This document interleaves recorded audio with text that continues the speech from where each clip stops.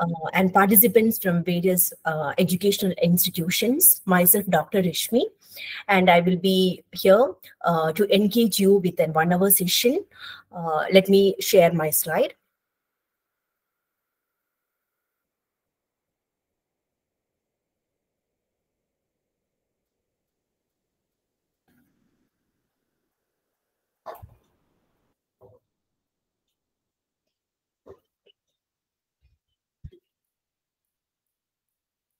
So hope the slide is visible.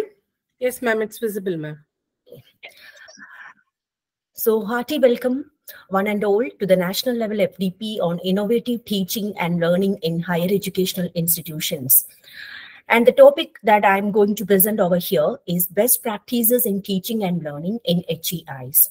So being faculties, there is, um, uh, so when I have been offered this topic about the best practices in teaching and learning, I just imagined about the audience that I'm going to deal with. And definitely uh, the answer comes that it, it is definitely the uh, the teaching group or the faculties as such. They will be uh, be my audience. And to uh, present before them the best practices uh, in one way or the other related to teaching is something very challenging for me because I know that I am addressing an audience who uh, might be more experienced and more talented than myself so to say that this is the best practice or uh, to uh, in, uh, to incorporate uh, one method as the best methodology is quite um, uh, difficult for me. Anyway, through this presentation, I will be sharing some of the uh, innovative practices, strategies, and methodologies which I feel as very um, appropriate in inside the classroom and as well as outside the classroom. So first, let me reflect my knowledge regarding the topic, the best practices in teaching and learning. So teaching, as we all know, it's a kind of uh, informative and resourceful sharing of knowledge since time immemorial. Uh, but teaching in the 21st century, um, it uh, prioritizes certain uh, what technologies, uh, the use of certain technologies, uh, then the use of effective uh, and appropriate methodologies and strategies. We need to implement these methodologies and strategies uh, to mobilize an effective uh, learning environment. Uh, and as such, during the course of my presentation, I'll be sharing some of the transitional practices that have been implemented by the faculties of various disciplines across the globe um, to uh, with a special focus on the student-centered learning. As we have moved from the teacher-centered uh, practices to the student-centered and this is the need of the hour that we need to engage uh, the uh, students with various methodologies uh, and further, the National Educational Policy Framework of 2020 has also reframed the educational practices relevant in the teaching and learning environment. So altogether, we can say that these best practices or the practices in teaching and learning has, uh, has been successful in creating a dynamic and flexible learning environment and as well as it provides um, a, a totality of learning experience. So with this, I'm taking you to uh, the next one hour session uh, related to best practices in teaching and learning. So these are the key points covered during the course and phase of my presentation. Uh, first, I will be introducing the teaching and learning process with which we are all familiar and the traditional versus to the 21st century in teaching and learning. And next comes the innovative approaches and techniques in teaching and learning. And finally, I will be giving, uh, sharing some of the sample formats and ex, uh, examples uh, of experiential learning, participatory learning, and problem solving. So this is the structure of my presentation. So to begin with, teaching and learning, uh, let me uh, borrow a quote from uh, William Arthur Ward. Teaching is more than imparting knowledge. It is inspiring change. Learning is more than absorbing facts. It is acquiring understanding. So from this definition, it is well clear that teaching is something more than merely a sharing of knowledge. It is inspiring change. How teachers, how can we uh, inspire or how can we impact uh, create a change among the learning audience? This is very important. With the traditional methods of lecturing yes we need to um, bid farewell to those traditional uh, methods of lecturing and um, uh, the teacher centered practices. So nowadays learning is not merely memorization or rote learning. It's not more it's something beyond the absorbing of knowledge. It is acquiring understanding. So to become an effective teacher um, several, the te- it is mandatory that the teacher needs to switch, switch on with various methodologies because uh, and uh, because the impact that the teacher is going to create upon the students should be long lasting then only we we, we can become excellent teachers and we can uh, survive in the present day teaching scenario Thus, teaching and learning are said to be the multifaceted phenomenon. So both have an reciprocal impact. If you are good at teaching definitely your learners will uh, like you so much. They will get inspired and motivated by um, motivated from your classes. And similarly you you can create a very um, harmonious learning environment to the students. So if, beyond sharing of knowledge uh, teaching also imparts values and skills. Uh, it's a kind of uh, an active engagement with the learners uh, to not only to enable them for their quick understanding, but also uh, equip them how to apply this knowledge in the real life scenario. So we receive knowledge uh, through study as well as through experience. So the uh, nowadays, as part of this NAAC documentation and um, the various NEP framework, uh, we need we need to take students outside the classroom. We need to provide them the real life situations, which I will be um, sharing in detail. So thus teaching becomes both an art as well as science. So when you apply the unique, uh, and when you apply certain methodologies in your teaching, uh, and when you make use of certain practices in teaching, it becomes highly scientific. And teaching is a unique uh, form of uh, uh, sharing experience. It becomes an art in the sense that it is unique from teacher to teacher. I cannot say that this method is only effective. So as teachers, you can um, accommodate or you can incorporate as many methods as possible. And which one you feel it as most effective you can choose it as your uh, best medium. So teaching is both an art as well as a science. And the excellence in college teaching is the prioritized need of today's education. As being college teachers we need to be excellent in our teaching. So the mere uh, content uh, sharing or mere knowledge in our subject alone is not effective. We need to um, experiment with various adequate practices. And this has these practices has go have got its own varied dimensions.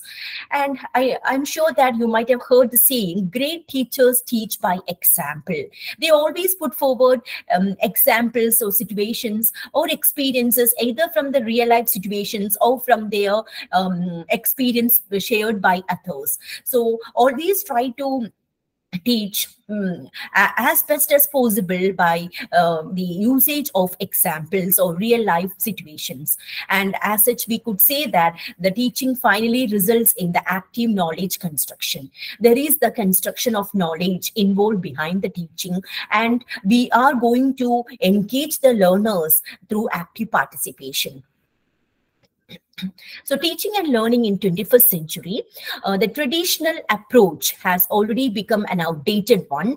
Uh, we need to uh, uh we need to uh, update our teaching skills that is very important. And moreover uh, several innovative approaches have been um, have come into effect in the uh, educational scenario. And these uh, innovative approaches really um, creates a very tough competitions among the teachers uh, the career of teaching.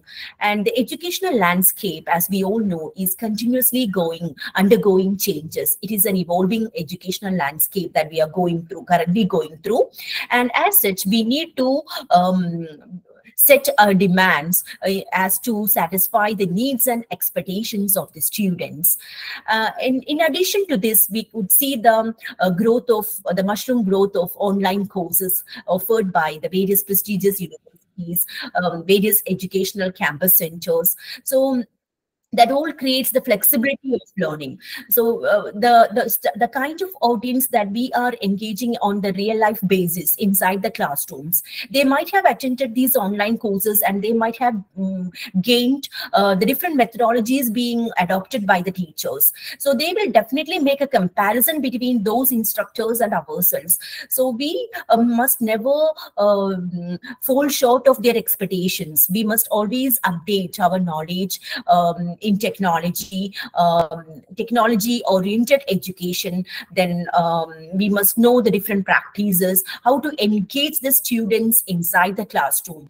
So effective actions must be taken by the teachers to facilitate this kind of learning, the student centered learning. And mm, it has been based on the uh, the different articles that I have gone through, uh, I I come up with a very interesting observation that several research has been conducted regarding the skills of teaching, but regarding the practices of teaching, yes, it's not, not something that is not widely uh, shared just like the skills of teaching. We have major skill re re uh, requirements for to become a teacher. We need to qualify the national eligibility test uh, then we need to qualify do, um, doctoral degree. But the best practices of teaching are not being actually taught to us in any way it comes we ourselves we um, we uh, we try to these practices either by imitation or by uh, feeling ourselves uh, on the experimental basis. So excellence in college teaching is a continual challenge lifelong professional challenge for the college teachers as well as for any faculties from the teaching field so we need to make a consensus. Uh, it's time high time that we need to make an agreement with that. The best practices will be adopted by each and every one of us inside the classroom. And these best practices uh, definitely contribute to the welfare of the learners as such so classroom teaching competence becomes useful for formative evaluation as opposite to the summative evaluation. Formative evaluation is something that uh, that the teacher, uh, it's a method of evaluating the students um, immediately after the class or uh, it's just like uh, even when the class sessions are going, the teacher can pause for a few minutes and teacher can take up the uh, undertake the quiz to know the, the level of knowledge of the students. So that is all about formative So learning methods are compared over here, traditional versus 21st century. In the traditional method, you can see the transmission knowledge is transmitted from instructor to the students. So there will be an instructor uh, who whose sole function is to uh, deliver the content to the students. And uh, the traditional method makes um, overuse of lectures, lecturing method, textbooks. It is uh, that method is that approach is more textbook oriented and gives uh, more importance to examinations. It is highly passive and disengaging. It never creates um, uh, a flexible atmosphere for the students, and the outcome outcome is memorization and rote learning. But when we have moved from the traditional approach to the 21st century, we have seen the primary focus on the developing skills like critical thinking, problem solving, collaboration, engaging and interactive learning experience, application of this knowledge in real life situations, and preparation of student for future careers. So when you make a comparison between these two approaches, you we, we can really place ourselves in the evolving educational scenario, how far we have moved from the traditional approach, and what is our present status in the 21st century as teacher trainers or teacher educators. And now uh, I will share some of the innovative approaches in learning.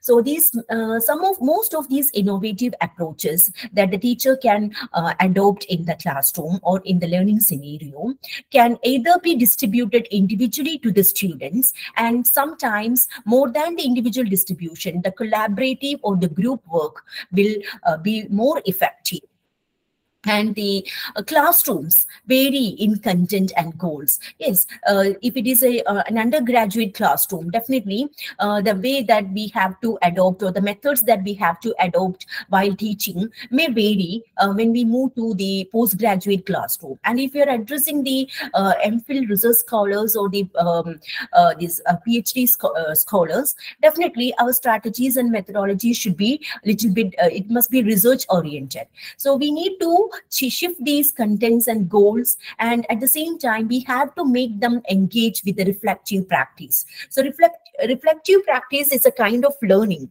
through uh, through and from the experience. It is not uh, textbook oriented. It is uh, it entirely depends upon the um, experience and it uh, through this experience uh, the students they gain new insight of uh, practice, uh, the insights of self, they are able to judge themselves, how far they have improved in learning. And um, these approaches in learning definitely contribute to the paragon of development. So the, uh, we, we uh, adopt these methods and methodologies inside the classroom, not to hamper the development or the growth of the the uh, the, uh, the intellectual growth of the students, but also to explore the different uh, facets of growth. And here I will be introducing different um, strategies and approaches like active learning, blended learning, personalized learning, cooperative learning, technology in, inside the classroom, then differentiation or diverse learning strategies. We will go one by one. Active learning.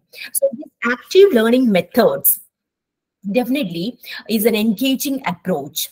It makes the uh, learners very active and engaging by ways of thinking, uh, discussions, investigating, then creating. So um, if you want to in, engage the learners in active um, learning uh, methodology, you have to give them a lot of assignments. You need to um, give them practice regarding the uh, polish, uh, polishing of certain skills. Then you have to give them problems, ask them to solve the problems. Uh, then um, you have to pose uh, complicated questions to them.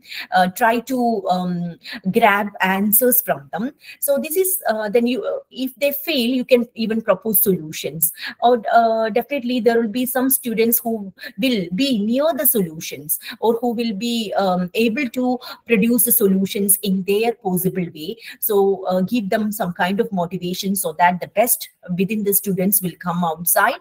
And thus you are actually creating a flexible and dynamic environment for active learning. Uh, so you can encourage them to write you can encourage them to uh, discuss. Uh, so these are the different ways through which you can foster active learning. Next comes the blended learning also known as the hybrid learning. So this uh, in blended or hybrid learning what we have seen is the um, the usage of different uh, technologies as well as the textbooks. So the textbooks uh, not only becomes the center of blended learning instead it combines the um, educational content as well as with the technology. Uh, so um, the traditional based classroom is replaced by uh, a hybrid learning environment where the teachers, they try to share knowledge using the digital resources. So it creates, it's once again creates a very, um, uh, a very technologically, uh, technologically friendly uh, atmosphere inside the classroom, as well as it could also give them um, um, you can uh, connect them with the audio experience visual experience. So this blended learning is very effective. Next comes the personalized learning. Personalized le learning depends upon the strengths and weaknesses of the students. Each student may be different from one another. So you can focus on uh, the individual strengths and weaknesses. Uh, that is uh, it is very highly time consuming but sometimes if the uh, matter is very complicated and if the entire class is not able to uh, grasp uh, at least some of the students you can go for personalized learning. And the next is the cooperative learning. Corporate and under cooperative learning the the teacher's task is to divide the class into various groups and a leader will be assigned. Um, so uh, the, the leader will monitor the the group activities and based on these activities uh, they, they uh, the lead uh, the group will have a discussion uh, they will have a self reflection um, and the teacher will um, will monitor the progress of the group will provide feedback towards the end. So in that way cooperative learning will also become very successful. And technology in the classroom that is another way uh, innovative approach.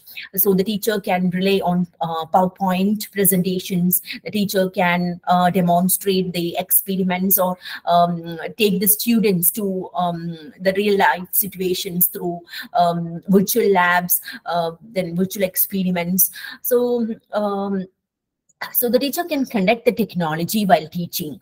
And differentiation is the next important uh, approach uh, that involves diverse learning strategies the different learning strategies. So learning strategies are not one and single. It is not a monolithic uh, process. Different and diverse learning strategies can be implemented at the same time. The teacher can go for active learning accompanied by blended learning. Then um, if she feels that he he or she feels feels that the uh, personalized learning is necessary, then she can uh, go for personalized learning. So different learning strategies can be blended inside the classroom. So these are the uh, some of the practices through which um, the learner retention or learner memory can be enhanced of course, the teacher need to present the information in an effective as well as innovative way. So innovation um, is always attractive, sometimes, at least for sometimes, because uh, the innovative practice, the students of this present generation, the digital natives, the so-called uh, Gen Zs, they are very much prone to the technologies and they might be, they might be uh, more um, adaptive in using technology rather than the teachers. So we need to um, present the thing in a very effective and innovative way.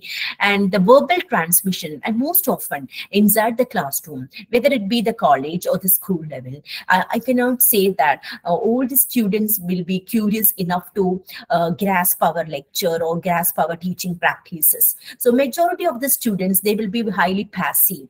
So it is to, to such a passive audience that we teachers we um, enter the classroom with lot of expectations that we could mold and the uh, today tomorrow citizens. Is of course the our intention or any teacher's intention will be good for that matter.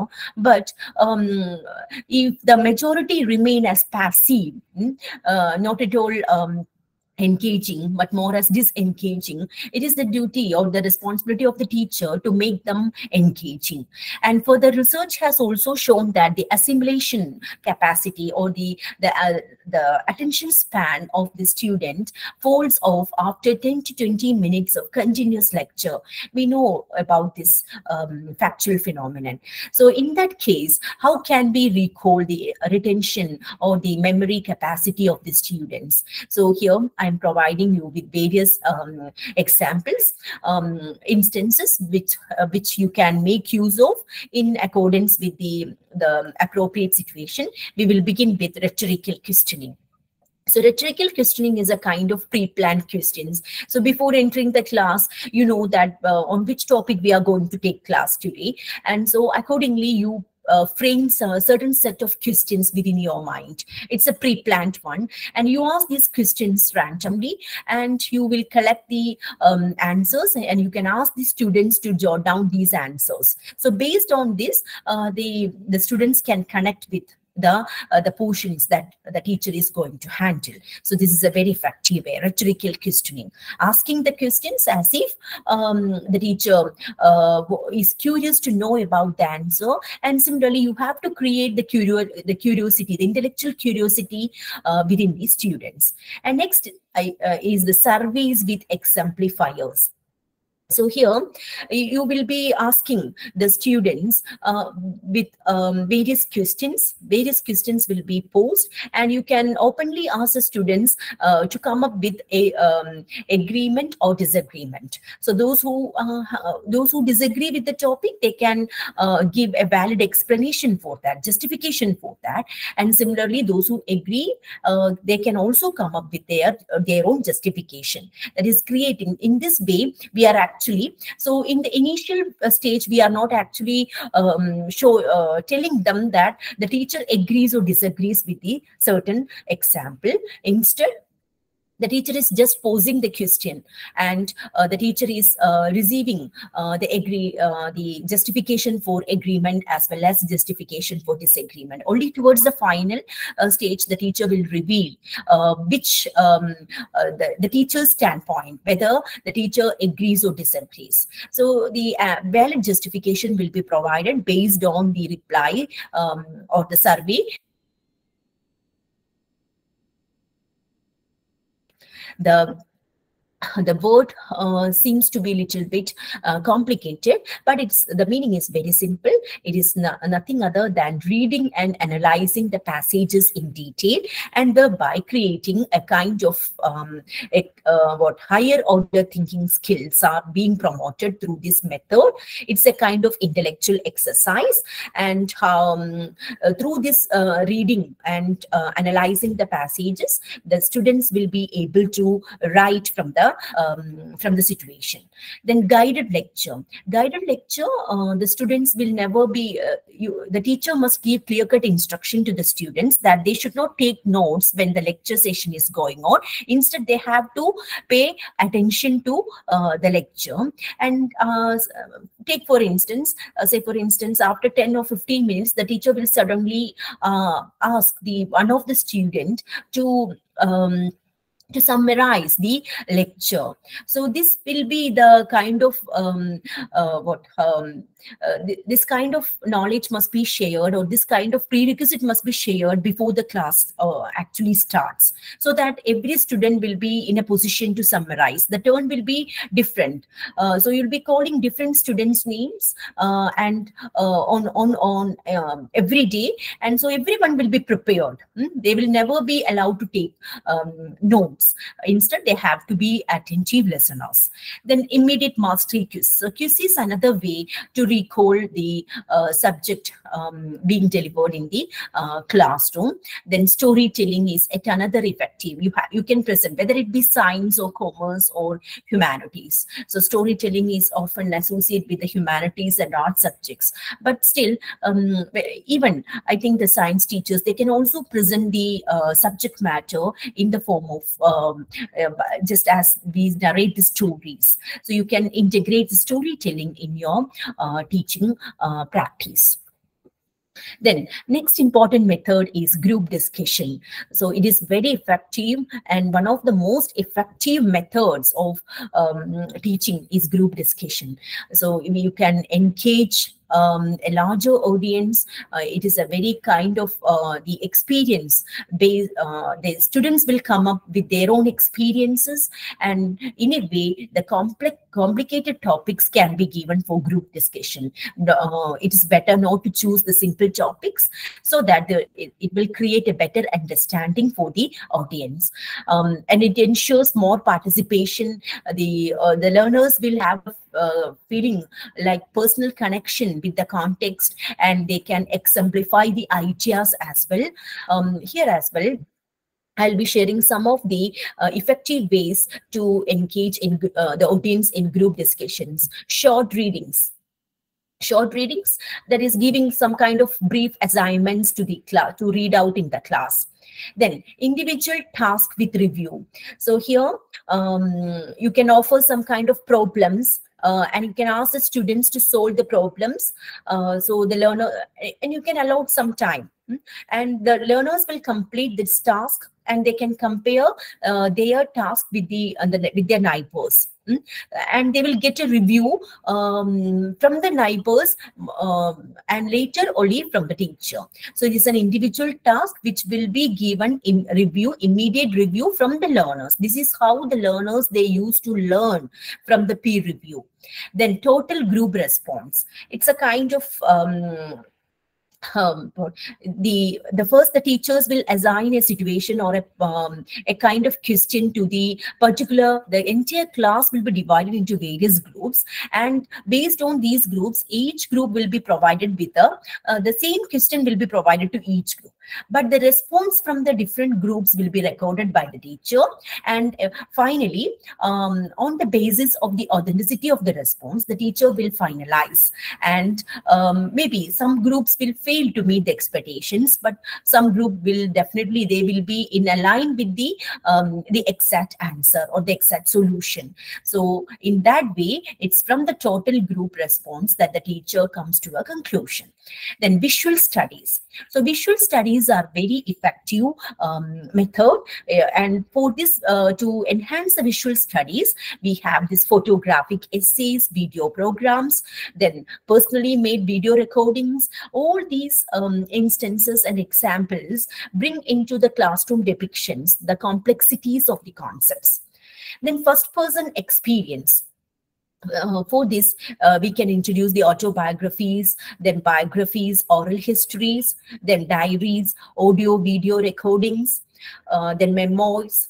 So all these uh, first person instances of first person experience bridge the gap between personal experience and the content under study.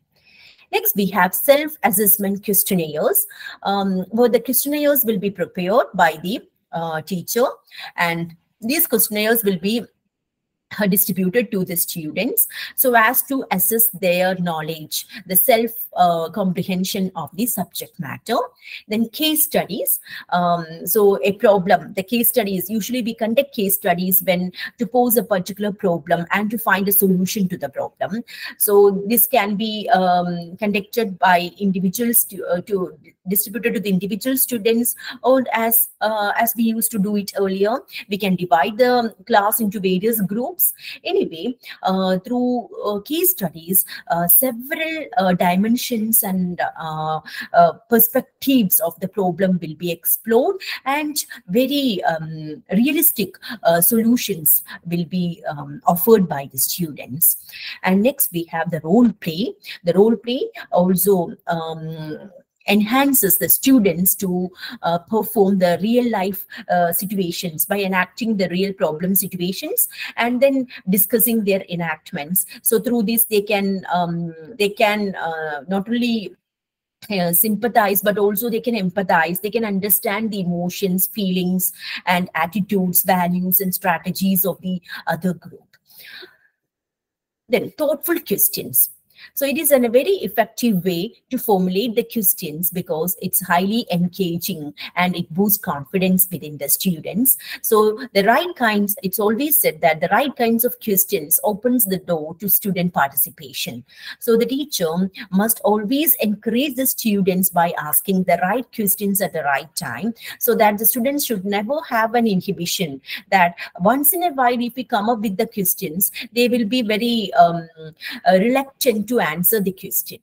So we need to um, make it as a practice uh, to pose questions at the right moment of time.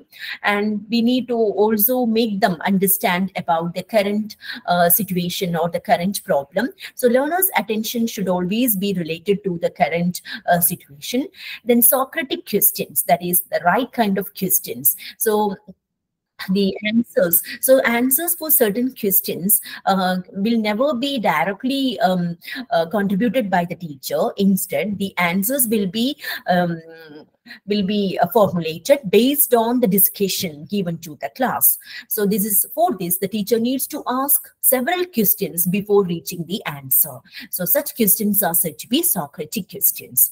And here in this slide i have provided several tutorial questions like description. These are all the different uh, different things that you can practice inside the classroom. Description for under description you can ask the question what did you see? What happened? Or what is the difference between? Then we, next we have the function uh, what is the function of what is the purpose of? Then procedure how was this done? Then what is the next step? How do you do this? Then possibility what else could how could we?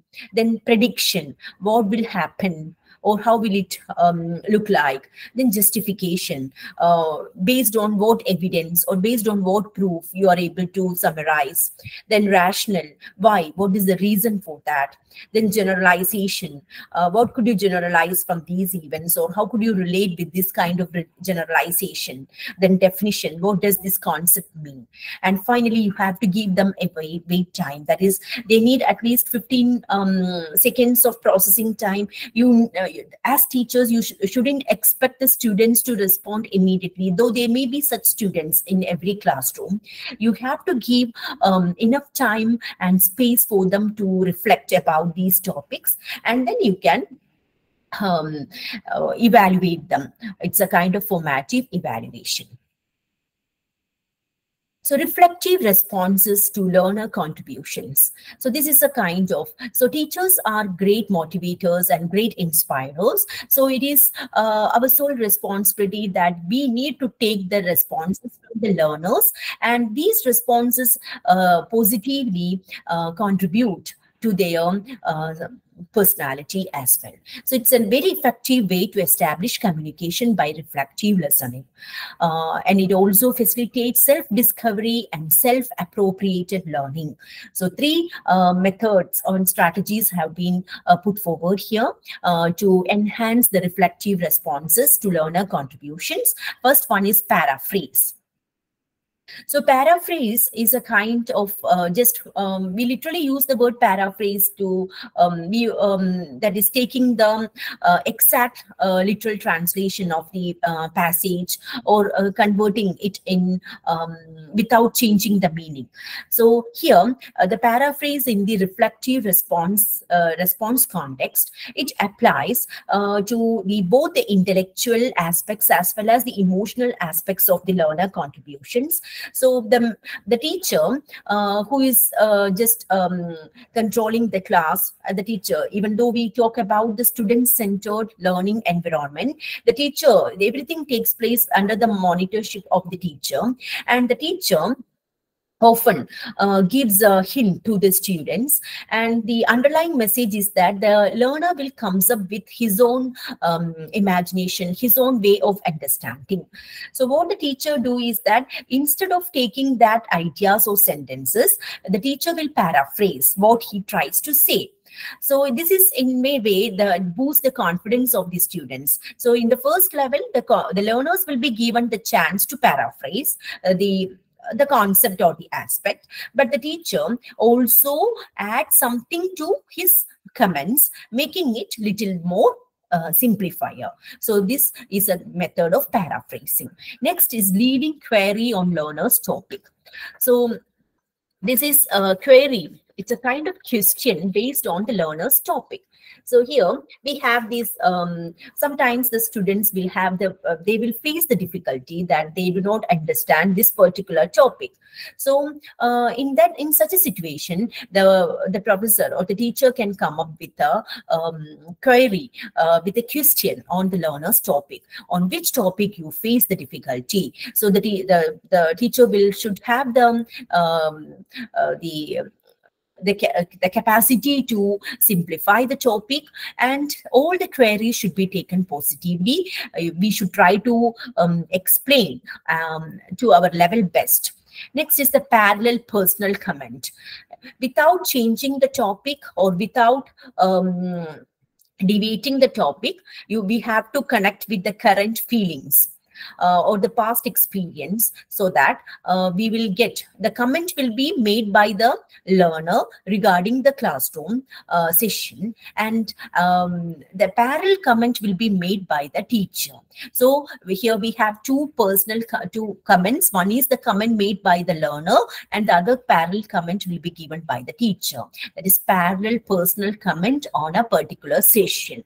So these are these three methods definitely boost the reflection effective responses to the learner contributions and rewarding learner participation. So these are effective ways to support the learner actions with encouraging positives. Avoid praise. So definitely the teacher can praise the students inside the classroom, but sometimes um, uh, they can misjudge the teachers to be partial towards certain students. So uh, the specific, by pinpointing the names of the students, such praises can be avoided to a, a greater level. Anyway, um, we can offer praise when it is really praiseworthy.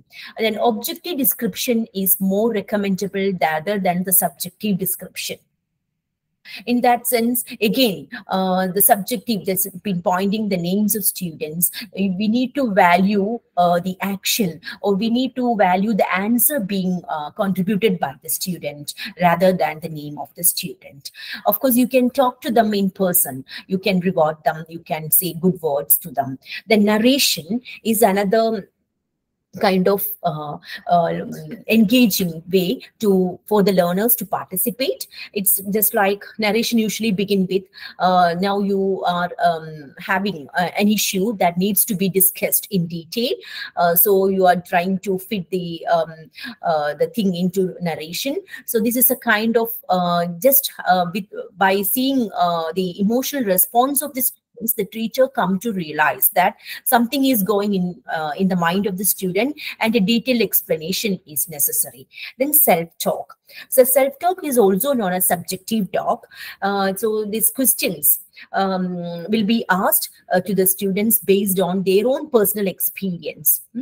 So uh, they will be given to share their own personal reflections. The non-verbal um, these are the gestures of excitement and success. Then personal feelings as participants. So uh, you have to describe your um, emotional reactions as a participant learner. The teacher um, should also become as a member of the uh, participation. Then as a member of the group uh, discussing uh, and expressing uh, the personal feelings then active learning strategies. As it is clearly stated in the beginning that learning is a constructing process. It's not just like deconstructing, it is a constructing process, we are constructing the various aspects of knowledge, skills, and values together. And it also fosters an active and constructive participation of the learners. So for learning to become a constructive process, we need an active and constructive participation from the students. Uh, so here, there is a learning strategy titled Construction Spiral. In the construction spiral, we have um, uh, three important steps are involved. Uh, it's just like a learning cycle.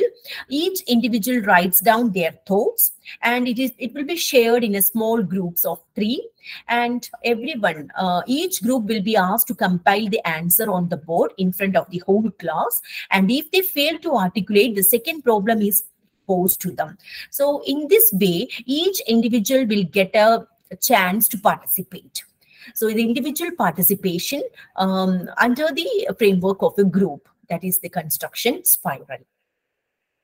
And active learning strategies can be can become effective uh, through um, various uh, learning uh, dimensions and various learning um, experiences. Here I will be introducing various um, learning uh, strategies with, with, which most of you are familiar with. And uh, this is uh, actually these strategies build a kind of self-participation. So the self-participation of the students, that is very important. The teacher merely stands as a facilitator, motivator, um, an influential figure in the classroom and the rest of the activities, the major activities will be shared to the students on individual as well as on group basis. They will be subjected to various learning strategies. And in this way, the teacher can generate the ideas, encourage creativity, involvement of the whole group. So sometimes the teacher talks about the muddiest point, that is the weakest point, uh, then the clearest or the the, um, the most um, the, the strength uh, strength wise point. Then they will be given um, for a presentation, just like for one minute paper, they will be asked to write a one minute paper presentation. So including all the points. So in this way, we can make this active learning strategy very effective, beginning with round. Round each person in turn expresses their opinion on a particular topic. And um, next comes the other uh, individuals or other students uh, turn then fish bowl. Fish bowl is again and uh, that is uh, it's a kind of group discussion. Um, so each one each group will come up with their own uh, findings. They will be asked to write it on a piece of paper and the nj papers will be collected on a bowl. Um, so uh, and the teacher will get a chance to analyze that um, the contributions made by the group in connection with the particular aspects then brainstorming of ideas. Uh, so um, the alternative possibilities can be elicited uh, only with the help of brainstorm. Uh, so on the basis of this brainstorm, the teacher can make judgments. Um, it, uh, it, so new ideas can be generated, then, uh, then creativity can be encouraged, the involvement of the whole group will be made possible through brainstorming, uh, then writing in class. Uh, it can be the focus questions, then in-class journals, uh, then reading summaries, then class essays. So all this improve the learning of the subject matter. Then it, it can also Next, we have this concept models, then simulation and games. So uh, simulation and games is more related to the practice um, with unfamiliar and complex situations. Uh, so it can provide, uh, so the teacher can provide well-structured rules and uh, relationships for these games. So it can last for one hour or if interested, the such simulation and games can be extended to more than um, um, hours. Then peer teaching, yes, assigning the teacher roles among the students. So the, the, the smart uh, students will be uh, given the status of uh, teachers. They will teach the weaker students. So uh, it's another excellent way of uh, imparting knowledge. Then question pairs. question pairs, the learners prepare for the class uh, by reading an assignment, uh, generating questions focused on the major points or issues raised, and at the next the meeting pairs are randomly assigned. Um, so they provide uh, corrective feedback if necessary. The learning cells each learner um, reads different selections, then reach the essence of the material uh, to the randomly assigned uh, partner. Uh, that is all about learning cells. Next, we have the cooperative group assignments. The five key elements are involved, positive interdependence. So cooperation is possible only through interdependence. Um, then individual accountability or individual responsibility, group processing, social skills, face-to-face -face interaction. These are the five key elements of cooperative group assignments. And the team member teaching can, uh, in fact, provide the team effectiveness design, knowledge outcomes, skill outcomes, and attitude outcomes. Next, we have here the double loop feedback. So what is this double loop feedback? Double loop feedback is uh, being practiced by the teachers uh, for a correct performance. Through this double loop feedback, errors and deficiencies can be avoided. So the word itself um, mean, uh, starts with the term double. So the feedback is provided. Usually teachers provide feedback uh, about the students. But in the double loop feedback, the initial feedback will be provided by the peer group and later by the teacher. So double feedbacks will be um, credited to each student. Each student will get double feedback, one by the fellow learner and the other by the teacher. So it is a method of providing correctiveness in accordance with the learner's continued engagement um, as if to acquire competence and self-confidence.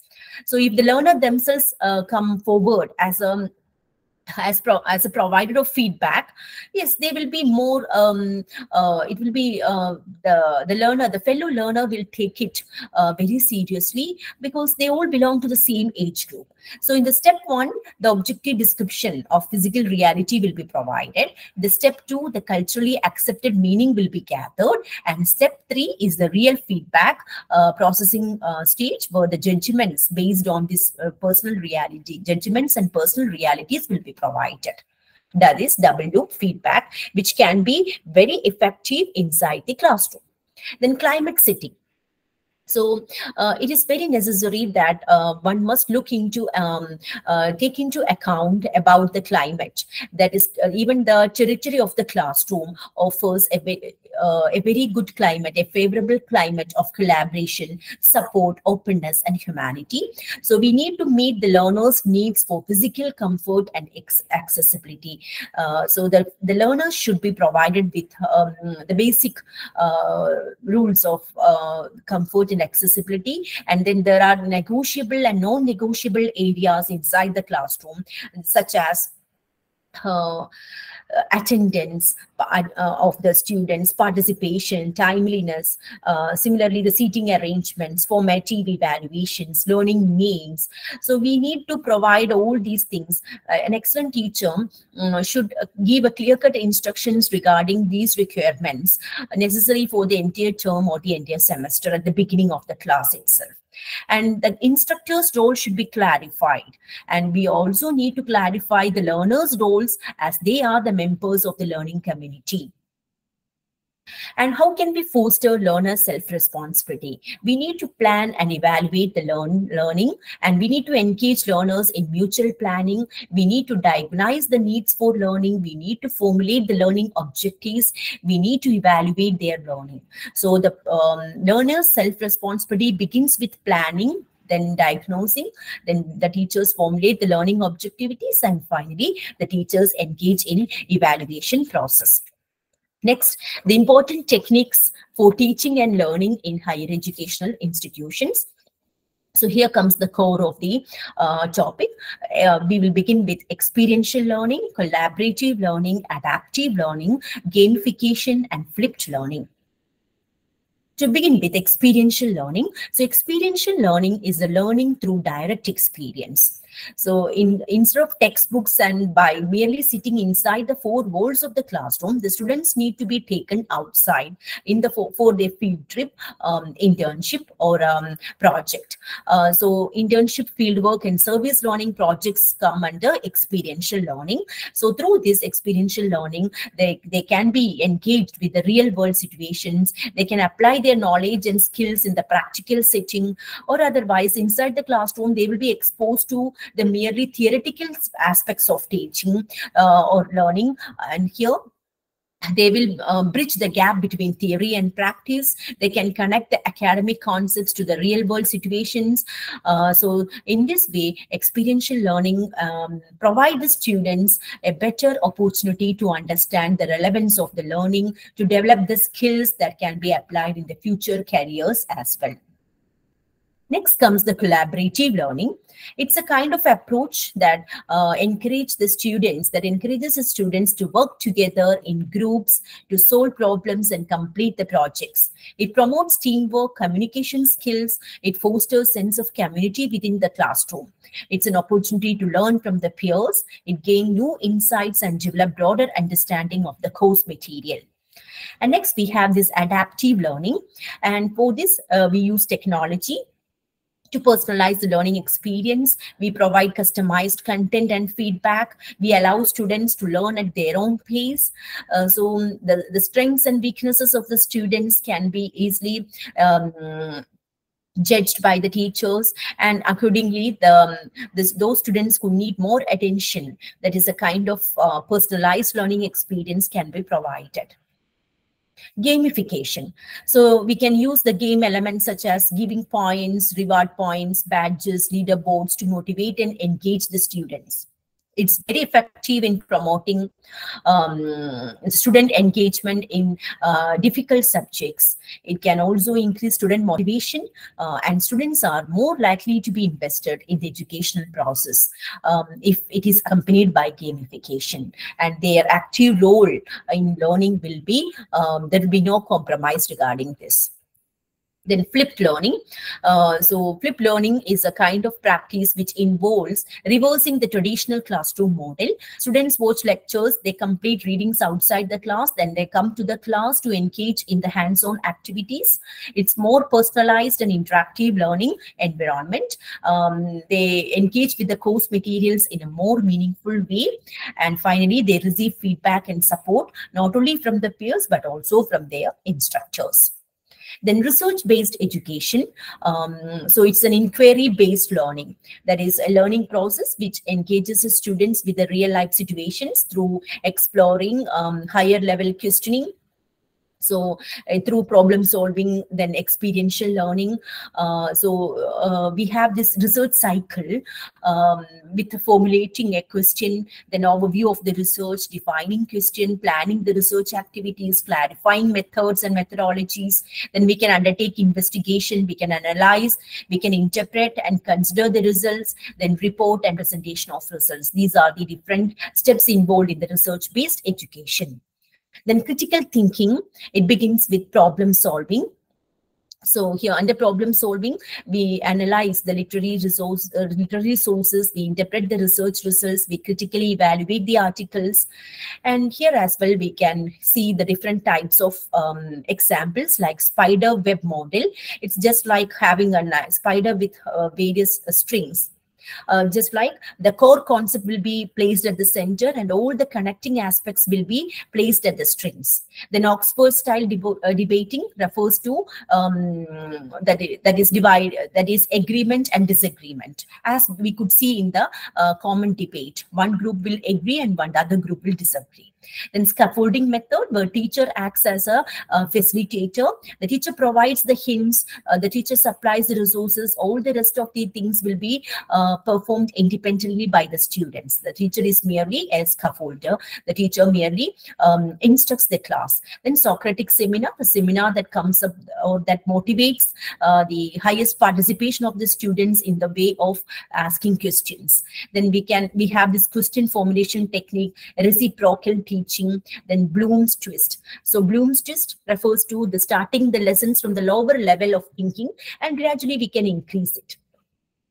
So these are the different aspects of critical thinking. So here I will be providing some of the examples of experiential learning, Skywatch program, which can be implemented by the physics department, then film workshop uh, by the mass communication department, then communication skill enrichment program by uh, the language departments, then medicinal garden and vermicompost lamp by the biology botany department, then aquarium and biocompost by the um, Department of Aquaculture, then educational tours by MPA, um, then uh, PPA, MPA, um, BVOC uh, students, interior gardens, um, earn by learn, then collection of plastic waste and e-waste collection, news and wall magazines. These are all the examples, very effective examples of experiential learning where the students will be exposed to different life, real life situations.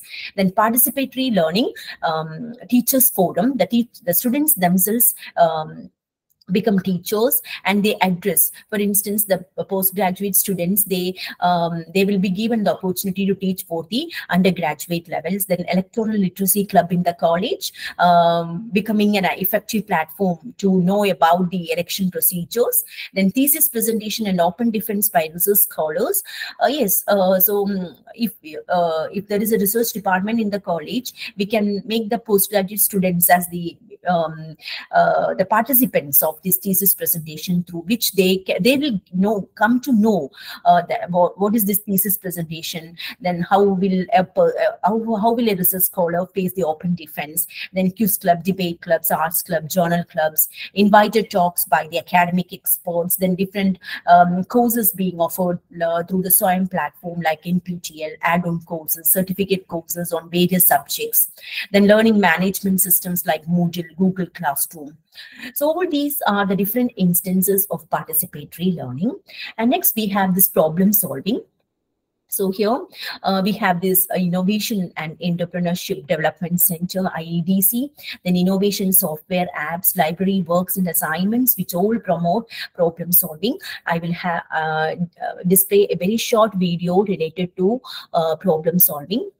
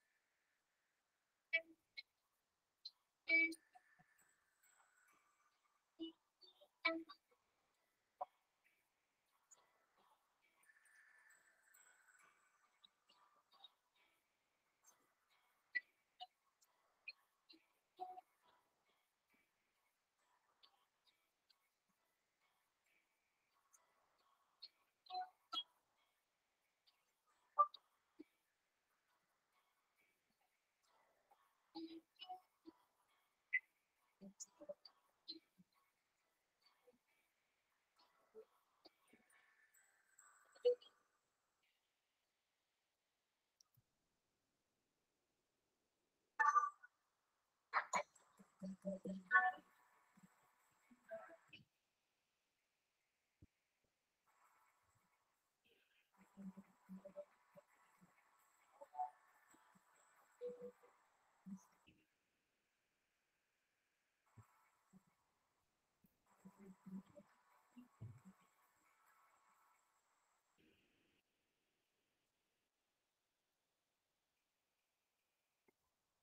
So this is these are my concluding observations that the educational landscape continues to evolve. It keeps on changing. And as educators, we need to open ourselves to new approaches um, and we have to continue and adapt the different aspects and facets of teaching practices to meet the changing needs of the students. And we should always be adaptive to the changes and we have to move along with the changes. Thank you. That's all about my presentation.